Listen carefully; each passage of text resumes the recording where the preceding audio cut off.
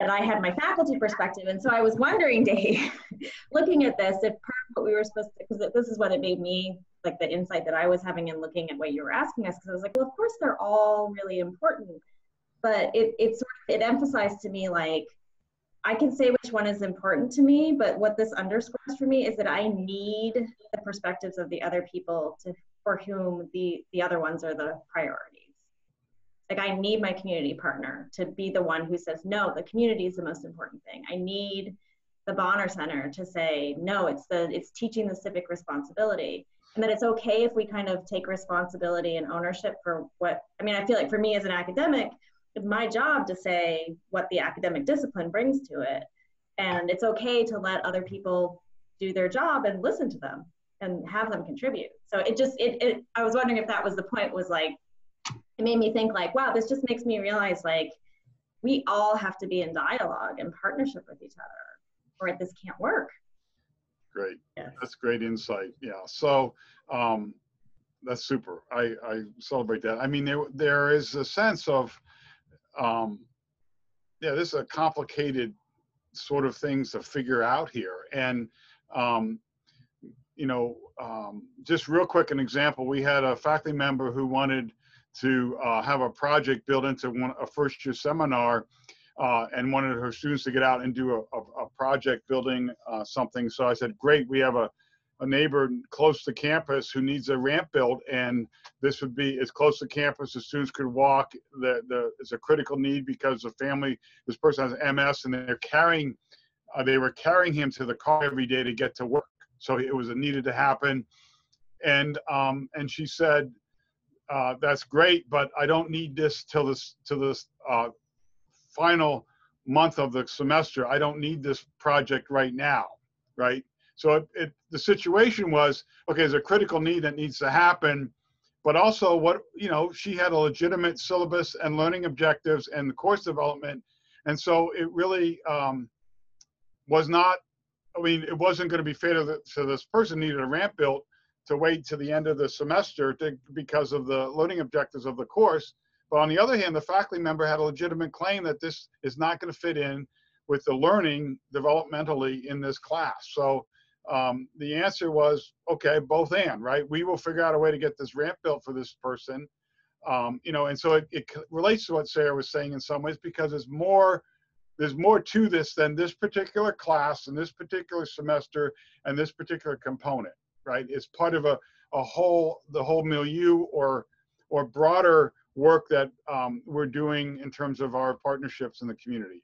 And, and so I think there's, we need to respect faculty's legitimate claim for learning objectives in that. So, um, but anyway, I'm sharing more than my, my cards, but I, I want to respond to Sarah's question.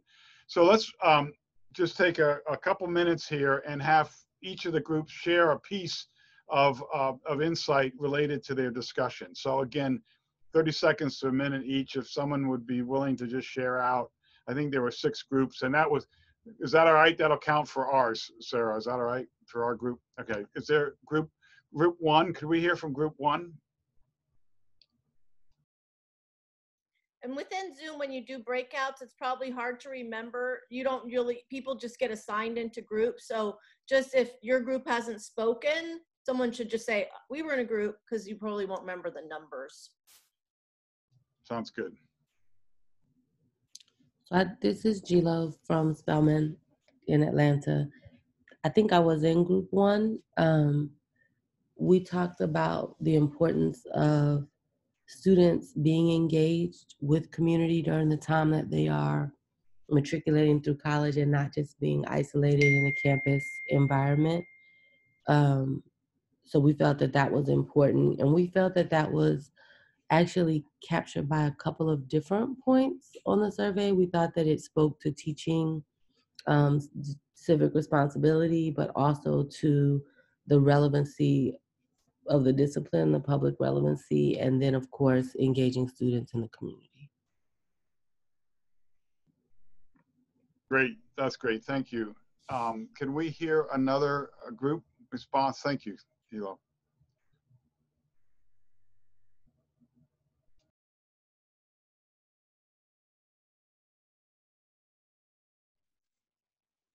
I was in uh, group five.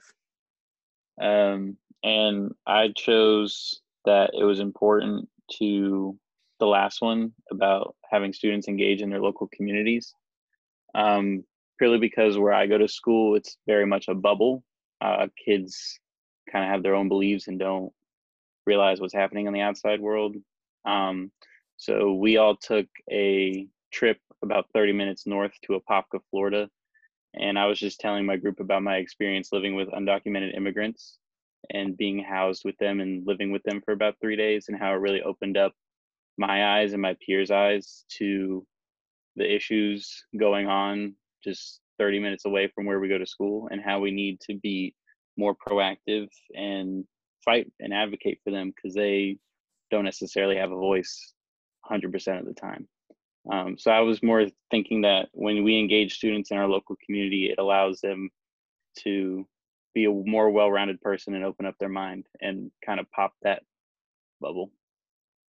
Great, Joshua. Thanks for sharing that. Was that in a course related to a course or was it part of a co-curricular effort? Just so we all understand. It, it was a, uh, it was a class, all Bonners, all the freshman Bonner. I'm a rising sophomore. So all the freshman Bonners at Rollins engage in it over winter break as a class. So we would read books and discuss journal entries about what we went through for that week. Great, super, great example. Thanks for chiming in. I think we have time for one more group to report out. So um, whoever gets in there and gives us a, and then we'll go on. I'll go. This is Arlette from Wagner College. In our group, we actually spoke about the one that no one voted for, which is faculty research. We actually claim that it's one of the um, preconditions for faculty to be engaged in this work right? There always have to be some kind of self-interest, especially for faculty, to align. Like if you think about it, I mean, what moves you, what you're, what you're passionate about. Therefore, everything else follows, right?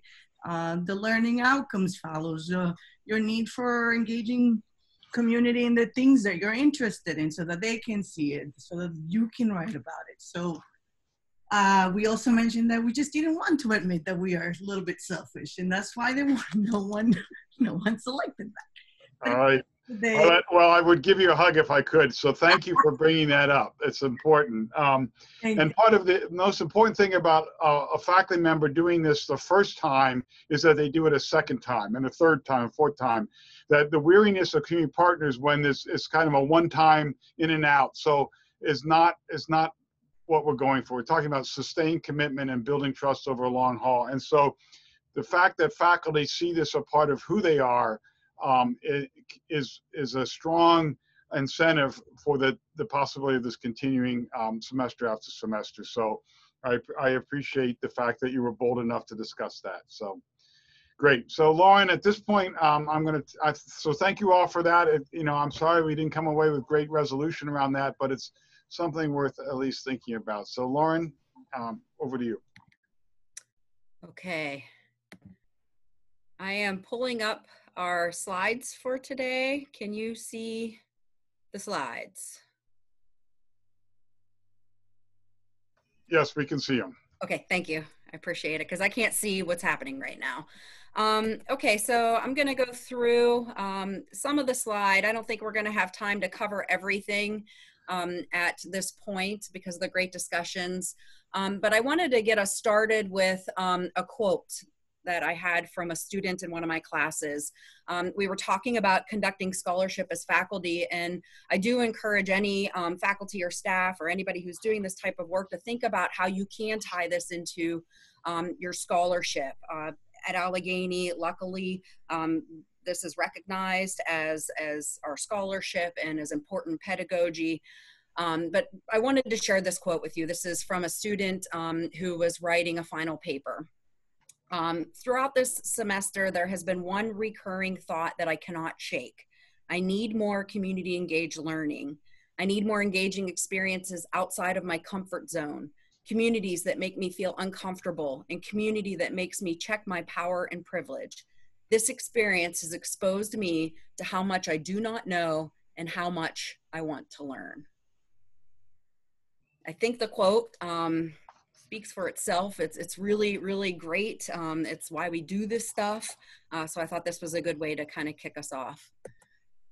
Um, so just briefly, our goal here was to give you um, a starting point to think about um, community engaged learning in a classroom. Um, this is a, a, very brief presentation, um, the basic fundamentals to maybe get uh, folks excited about developing your own craft of community engaged learning and teaching. Um, we know that this isn't a plug and play type of approach and requires specific uh, sets of skills and tools compared to traditional classrooms. Um, so we need to be um, thinking about the ethical uh, considerations and doing this work with competence. So we're gonna do a very brief overview of some definitions, theory, framework of best practices. There's a lot of research out there and how to do this right. Um, well, if we have enough time, I'm going to talk a little bit about my lessons learned. Um, I have many of them uh, from doing this type of work, and then hopefully some time for discussion um, and questions and answers. Um, just very briefly, um, this is this is a, a, good place for us to think about um, and is tied into our reasons for doing this type of work and is thinking about your post your personal motivations thinking about your why. Um, why are you even considering doing this work? Why are you interested in this work? Um, of course it's recommended to engage in reflective practice whenever you're thinking about this work. Um, so i just have a few reflection questions for you to be thinking about um, you know, as we move throughout this presentation today. And just as a reminder, uh, just to highlight what Dave said, is that many people come to the table uh, to do community engagement work for many different reasons. Um, and that's okay. And your reasons might change. Um, so for me as a faculty member, my initial motivation was from a pedagogical standpoint. Um, I thought that this was just a, a, great way to help my students learn and enhance my student learning objectives and my motivations have changed as I've um, continued to do this work to a more um, personal commitment to addressing um, social justice issues. So I encourage you to think about um, and reflect on these questions on the slide. The article that she has put there is an article that uh, outlines um, seven pathways for faculty to get involved. So again, the reference will be there, but um, uh, just to mention that that it's a very it's a very rich piece uh, to consider. And as you consider your own your own motivation for this but also those who will be enabling empowering others uh, to do that that the faculty will come at this from very different places and that's perfectly all right. Right. Thank you dave. Um, just to start off with a definition, um, there's many different definitions of community engaged learning. Um, and this is just one uh, or, or, a couple points, um, but the key points here is that it's explicitly tied to learning both in and with community groups and organizations and is based off principles of partnership, mutuality, and reciprocity. Um, I just want to highlight that, as we all know, that this type of work is um, very relational, relationship driven. Um, and community engaged learning is uh, a pedagogical tool, a high impact practice um, that has demonstrated to help with student success and retention and learning. And our focus today will be on uh, community engagement service learning, but as you can see, there are other uh, strategies or instructional pedagogical strategies that um, can foster this type of learning. Okay, I'm gonna turn it over to Dave. Right. So just uh, as this as this movement has evolved, there's been um, some really great critical work done around what does it mean to get our students out in the community. And in the beginning, obviously, very much interested in what students are learning, and um, you know the the argument that this is a worthwhile pedagogy, um, and yet there was a sense that this wasn't really mature. And so the work of John Saltmarsh, who is um, you know, kind of the architect of the Carnegie Community Engaged classification, uh, and others have done work about, okay, let's take this to the next level. So um, this is a framework that is coming out of de the Democratic White uh, Democratic Engagement White Paper uh, that came out in 2009, about a decade ago, and it's you know again uh, an article that speaks to us moving from just civic engagement to democratic civic engagement and what does it mean when we really take seriously reciprocity, community as assets, and also uh, collaborative problem solving. So again, just a reference there, um, uh, the Democratic White Paper, and we'll have these references at the end. Okay. This next one is um, an initiative that came out of the Bonner Foundation among some of the schools. Not all of them were able to participate in that. Um, and so that AAC&U, the American Association of College and University, has developed uh, with great research high impact practices. In other words, what are the pedagogies that really are impactful for increasing student learning? And it's tremendous research and it's very important. The Bonner uh, community came alongside that and said, wait, but there's also high impact community engagement practices that go alongside the high impact practices of AAC&U. And here's a list of those. This, this initiative started in 2012, and uh, it was an opportunity for teams from different schools to come together and look at how the high impact practices of AAC&U interface with high impact community engagement practices. And out of that, initiatives were born. So um, uh, just again, that work can be done. The expertise lies within the Bonner community, but to think through as you're doing this work, where does uh, place uh, anchor institutions and place-based work, where is their, their deep work, where is this developmental, um, where is their mentorship, uh, where is their humility um, in this work. So again, just a, uh, another resource that the uh, Bonner Foundation has to offer.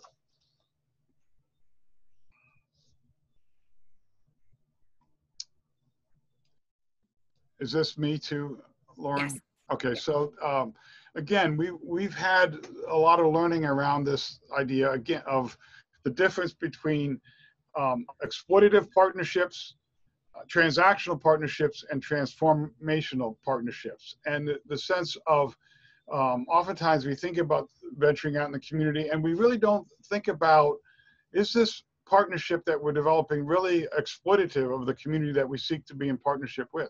Or is it transactional? In other words, it's a one time, we're going to make this, I, am going to meet this expectation, the community is going to meet this expectation, a one and done uh, situation? Or is it something that's building towards a more transformative or generative uh, partnership?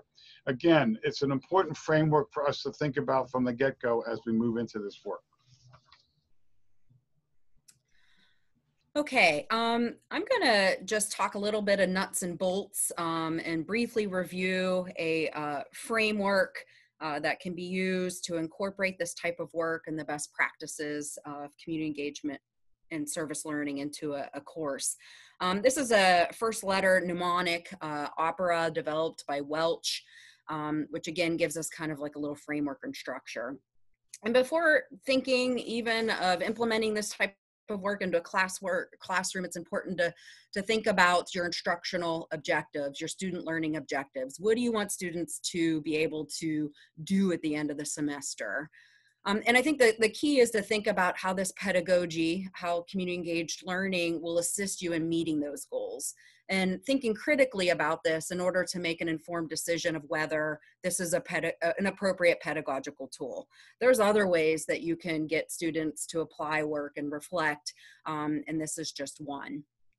Um, I'm to just briefly, before I move into talking about the, the P uh, or partnerships, is to just share some examples of um, engagement um, ways that you can implement this into a course. Engagement can be structured very differently, can look a hundred different ways based off of the course, based off of the, the student learning objectives, the partner's goals.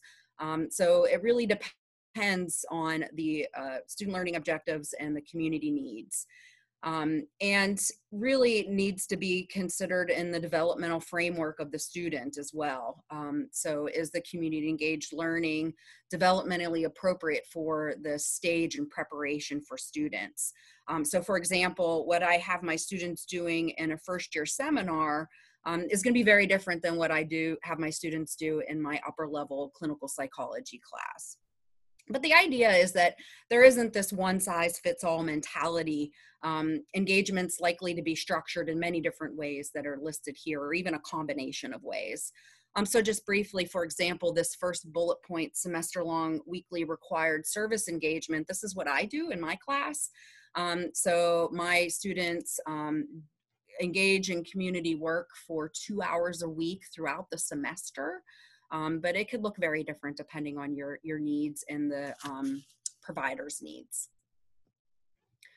Um, also for your reference, I wanted to give you some examples of what this work would look like in specific disciplines, um, just to open you up to ideas. Um, I'm, I'm, not gonna read through these, but you can see um, that these projects or these um, different uh, engagements have patterns, right? So it's encouraging greater understanding of social issues, encouraging civic responsibility of students, um, and really just a general sense of caring. And then um, I just wanted to provide you with some examples of um, community engagement service learning objectives. So researchers have conduct, conducted analyses of community engaged learning courses.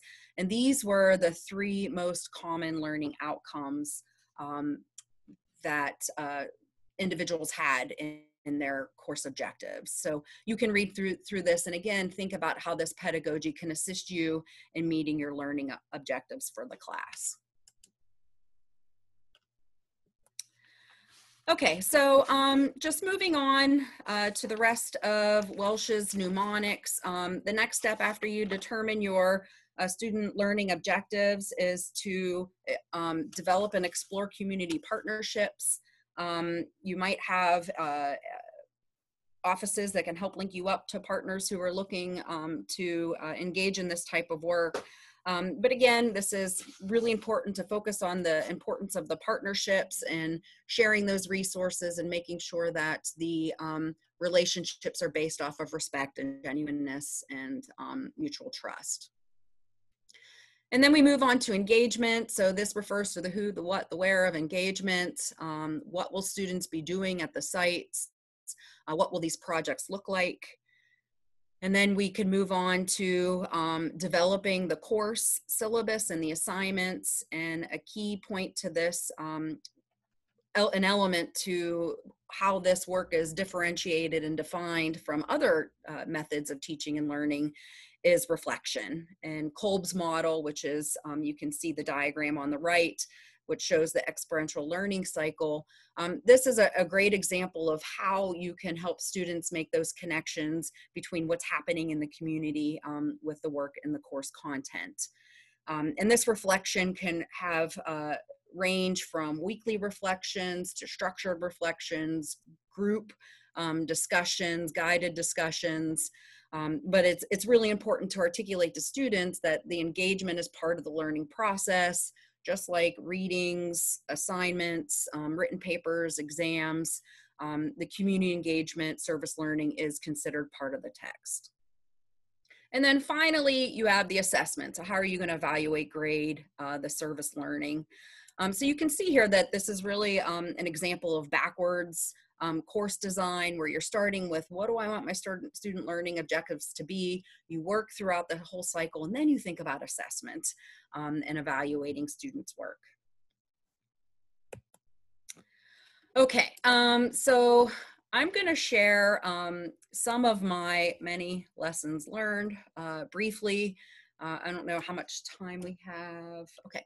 Um, my I want to give you uh, some practical suggestions or suggestions that you can take to faculty who are interested in doing this work.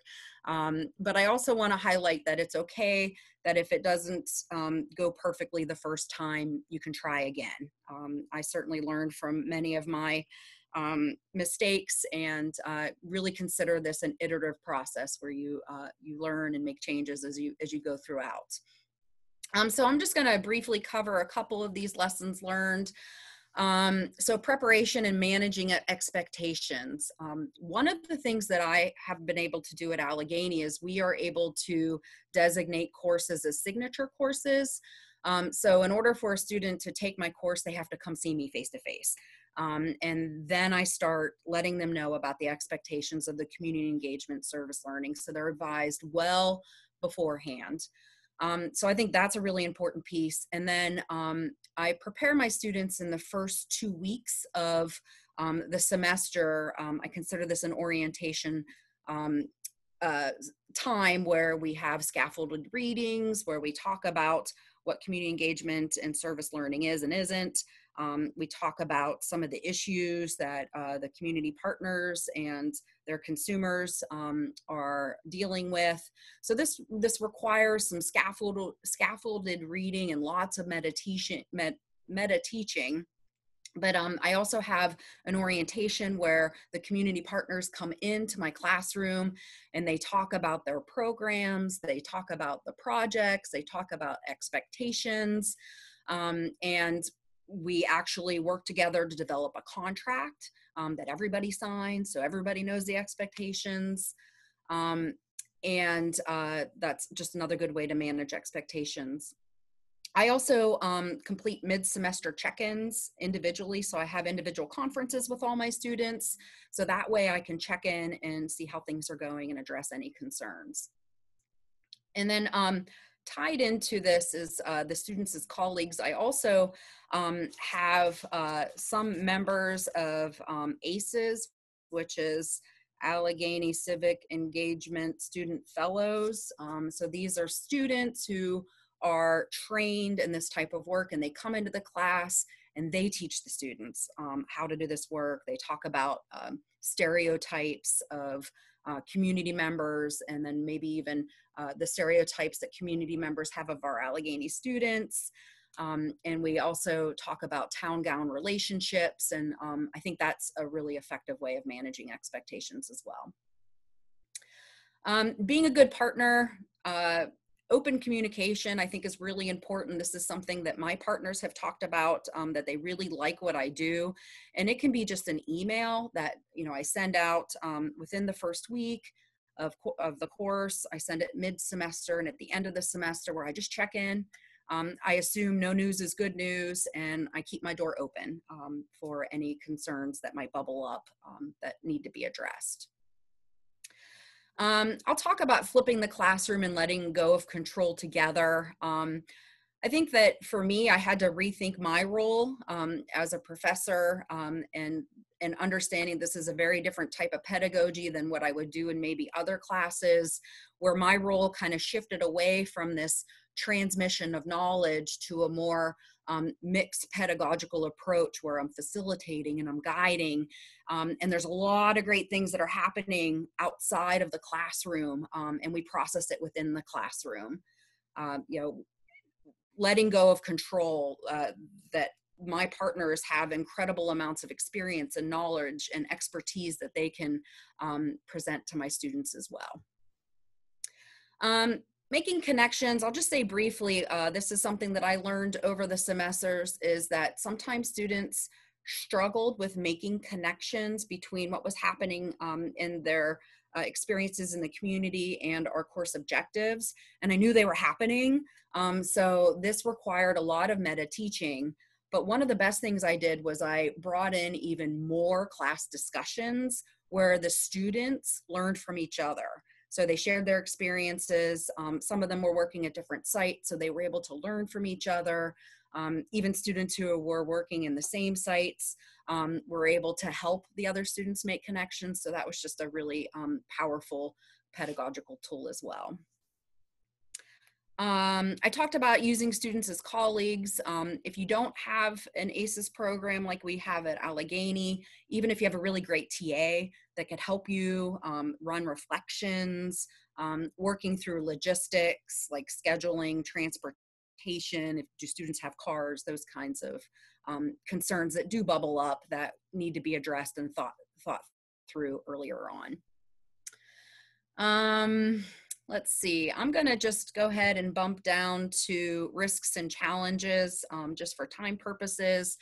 Um, I will say, um, to be honest, that uh, this was a lot of work um, at the beginning. There was a lot of energy up front um, that I needed to be thinking about, um, but I can't imagine teaching my course any other way at this point. and the benefits have certainly outweighed um, the the risks or challenges. Um, I have some student reflections here. I'm not going to read them um, to you, but I think that this just kind of highlights for me when I saw these quotes from my students, I was like, yes, this is so worth it, right? Community engagement, best experience of academic career. All right, that's all I needed, right? For all the work that I put into it. Um, so there's a lot of energy up front and um, there are risks. Um, when I first implemented this um, into my clinical psychology class, I had really awesome um, student uh, evaluations in this class. And the first semester that I implemented the community engagement, they dipped down a little bit. And that was on me um, because I didn't think about balancing um, the students' work. Um, I ended up having to remove an entire text um, the next time I taught the class because it was just too much um, and I didn't think through that. Um, so I had that risk, right? My, my, um, my scores dipped down a little bit and then I made changes as I learned and um, they've, they've gone back up. Um, but that's something that is shown in the literature and is, is, is something to consider as well. Okay. Dave, I think it's over to you now. Thank you, Lauren. That's great. So we thought we would um, pause here for a minute to make sure if someone had a comment to everyone real quick or a question back to Lauren, and then we have time uh, to move again into a seven minute breakout room and time to bring back. So that was amazing how you were able to do that as concisely as you did, Lauren. I appreciate it. But does anyone have, before we break up into groups, does anyone have a comment, a thought, or an insight um, you know, again, uh, the student experience we'd invite in here, and certainly those of you who have also worked in roles of um, mentoring or uh, training uh, and supporting faculty in this work, feel free to chime in. We'll take a couple minutes to do that.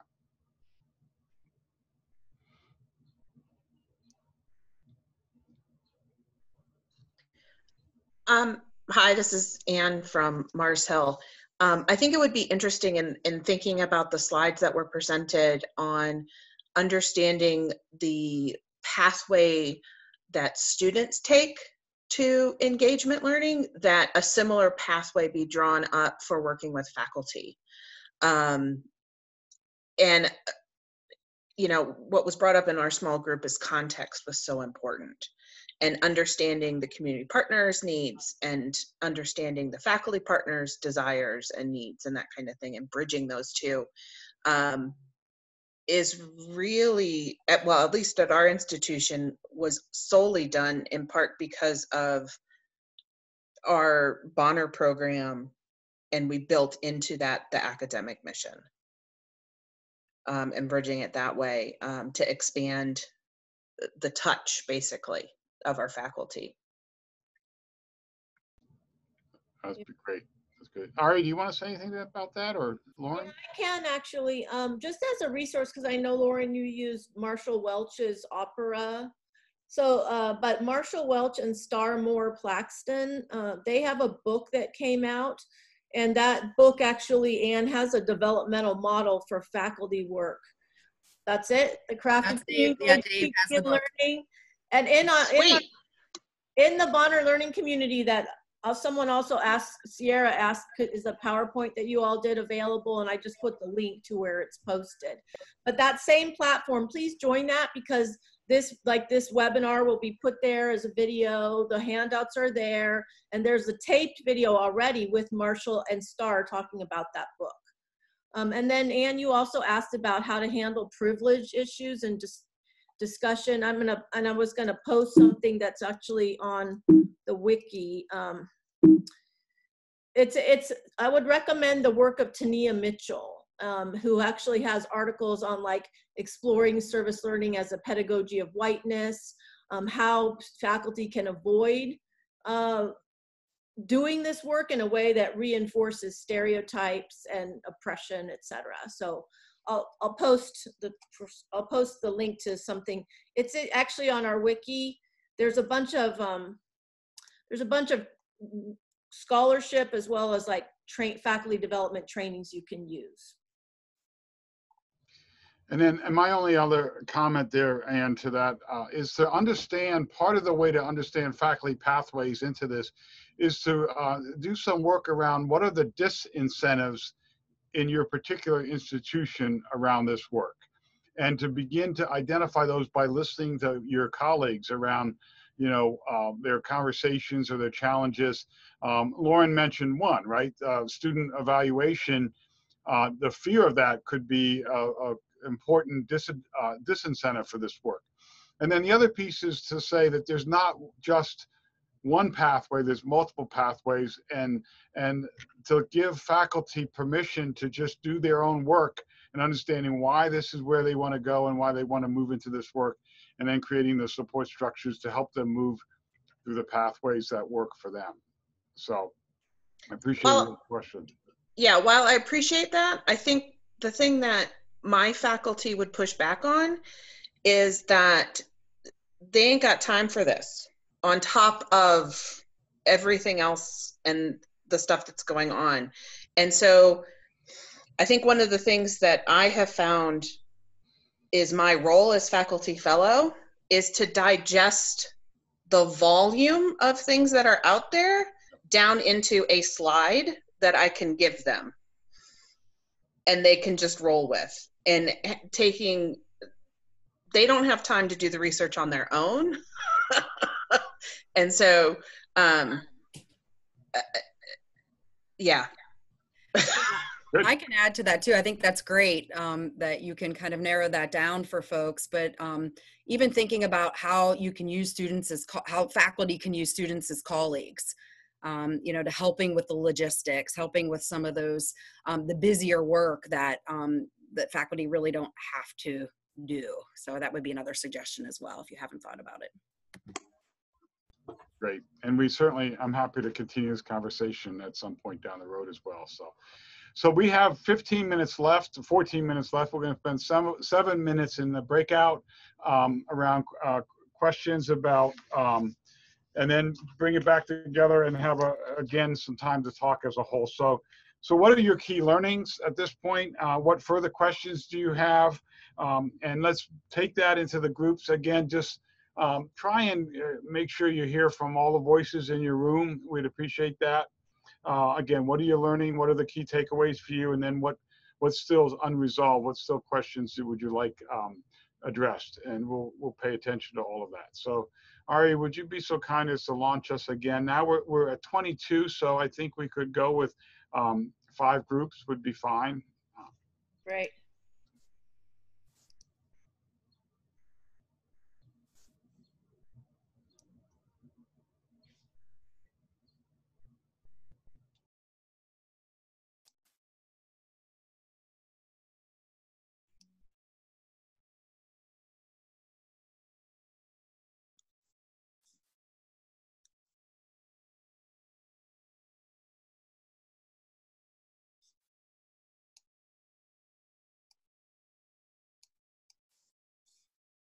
I think those other folks may just have stepped away from their computers or something. That might mean that they're not going into the, them. Oh, they're, they're there.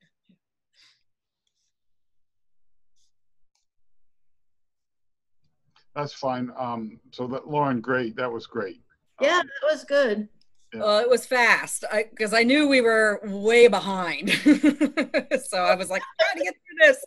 Um, the discussion earlier was very rich, and a lot of the folks that you're speaking with, I think right now, at least the ones that have their screens on, I think a lot of the ones that don't are, are students, honestly, are the ones that are, you know, but the other ones, a lot of them are kind of like you, you like um, experienced practitioners. So I, I, saw like that, like Jess, she's also a faculty fellow from Stockton. She made that comment, like that, just um, that this this this reflects like this body of practice. So I think it's been really good. Yeah. I think this group would love to have even a deeper, like some of them said they want to talk more about that issue of research and tenure and stuff. So. I mean, in some ways, Ari, this will be. I'm not going to join a group this time because I think that's how that mess up happened. Yeah, well, I think, and I got in the group. And it's like ended the meeting instead of the group. yeah. And as soon as I got into the meeting, then they didn't. They wanted to just talk to. They didn't want to do their own work. So oh, I'm, I'm not going to go in. So that's fine. But um, Yeah, and I think Ari, I'm really glad you're here, and and um, you know, I think that you know this might be a good jumping off point for other work that we have to do down, move the moving forward. You know, um, Yeah. you know, Yeah, what I'm trying to get at though is there's a lot of interesting stages in it. Like there's just like like the forum that you know, like you did at Allegheny. Like you were, at least the parts I joined, like even the small groups, there were a lot of faculty that were new to this work, right? And they were like, they this they were being like their eyes were open. Oh my gosh, I could do this, and they were getting on that pathway. And then we've got also these other folks that are like they've been on that like Anne, the one that's asking the questions and stuff, and they're they're real they they want to they're they're wrestling with how to move the whole institution forward. Yep.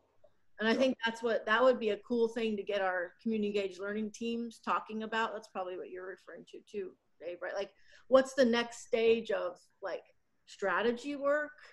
Um yeah, because what like in terms of institutional strategy, especially now considering the impact of COVID and recession and like Black Lives Matter, you know, like all that's happening. Like, how is us all gonna yeah. I mean, it's related, and and and yet it's really a different. It's a different level of conversation, you know. I mean, it's the provost conversations, you know, it's the president's conversations, and also these great advocates in the trenches, you know. Yeah, yeah how can they not have these i mean how can it you know um so i i think there's a lot a lot um to be said for you know kind of what is this going to what's this going to ask of us you know from here um what are you looking it- forward to in the next block? Are you gonna go to the next block? i was going to go to the one by uh southern the um what the heck was it uh, yes i was going to go um uh, I missed the one I was going to go to yesterday because we were chatting, and then I, I missed. I thought it started at noon. I thought it started at one. Um, uh, but I didn't even write it down. Um, yeah, I was going to go to the one. Is it Southern? Southern? Hmm, I don't know. To look and see. Uh, well, one I, I I wish I could go to, but I can't. I didn't know if one of you were going to go to. Is the one that Marina Barnett from Widener is doing, the one that's called "Teaching Tools for Keeping the Community in Virtual Community Engaged Learning." Um, I have to go to the one that Om Prakash is doing because otherwise I've been trying to go to these C- CEL sessions. But Marina's kind of like you, Lauren. Like she's a really very experienced. She's she's been the one running the the Service Learning Fellows program um, for like 20 years at Widener. And so like she, she's African American woman. She's been doing all this stuff right now with like teaching other faculty how to do this work remotely in light of this, this, these changes. Cause people are foreseeing, all the staff in our campuses are foreseeing this is gonna la like, this is not gonna change in the fall, even Yeah. if people come back because the liability issues are so much that the institutions will say, sorry, you can't do that. You know, Right. Right. Yeah. I mean, I'm already not planning on doing any engagement work, and I, I had originally planned in all three of my classes this fall, and I'm I'm gonna have to just make another alternative assignment because I'm just not gonna be able to do it. I've reached out to all my partners, and they're just trying to figure out what they're doing. That's where everyone is at. And Mhm. should we um close the rooms, Dave, just to give That, people? sound- I that think that sounds was about seven minutes. Yeah. Okay. that sounds good. Gotta make sure not to push the wrong button Yeah, I I, I want to make sure I'm in the right spot. So people should be coming back. It's, they have 51 seconds. okay.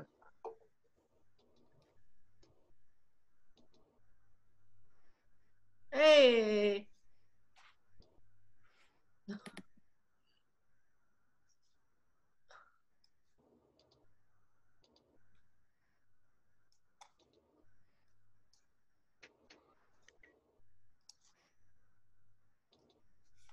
Okay.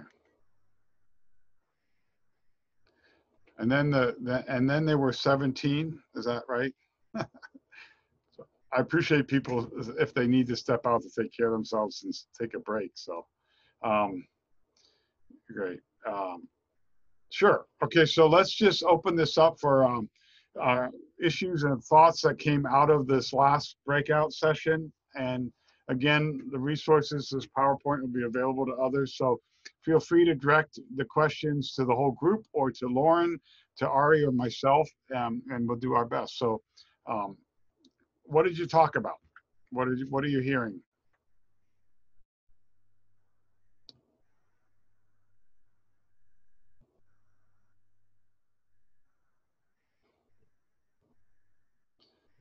we didn't talk about this, but it was something that I wanted to talk about. This is Karen Barron. I'm from Washburn University, and I am in the English department faculty and also the coordinator for community engaged learning um, through our, our center, which is uh, the Center for Teaching Excellence and Learning.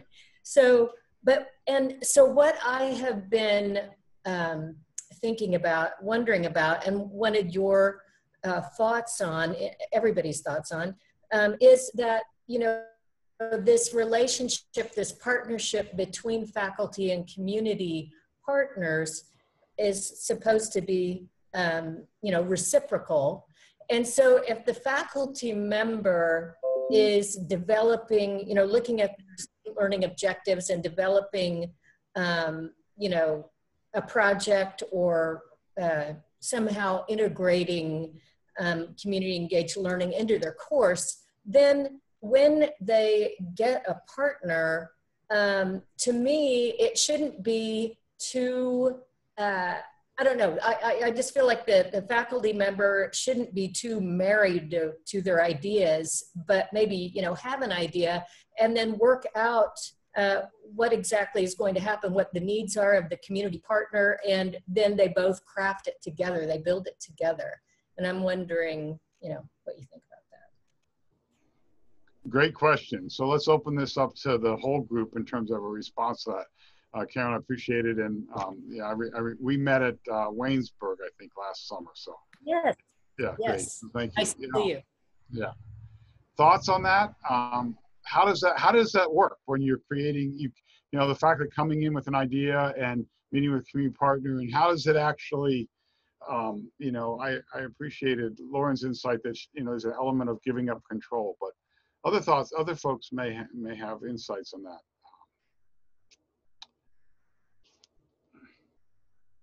So uh, we actually did this as a workshop in a stage model with our faculty at Mars Hill. And so we brought the faculty